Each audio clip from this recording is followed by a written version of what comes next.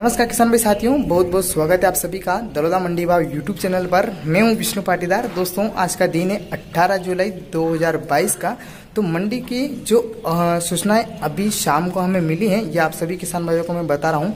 कल दिनांक 19 सात 2022 19 जुलाई 2022 मंगलवार से दलोदा मंडी अनिश्चितकालीन तक बंद रहेगी दोस्तों। कोई आगामी आदेश जब तक ना आ जाए, तब तक मंडी में नीलामी कार्य बंद रहेगा। अतः तो आप सभी किसान भाइयों से निवेदन रहेगा कि जो भी कृषक बंधु अपने कोई भी कृषि जिन्स मंडी में नीलामी के लिए लाता है तो प्लीज़ मंडी में चलने की जो सूचना मिलने तक आप वेट कीजिएगा। अभी तक की जो सूचनाएँ मिली है 19 जुलाई 2022 से दलोदा मंडी अनिश्चितकालीन तक बंद रहेगी। दोस्तों, ये सूचनाएँ पूरी। आप ध्यान से सुनेगा।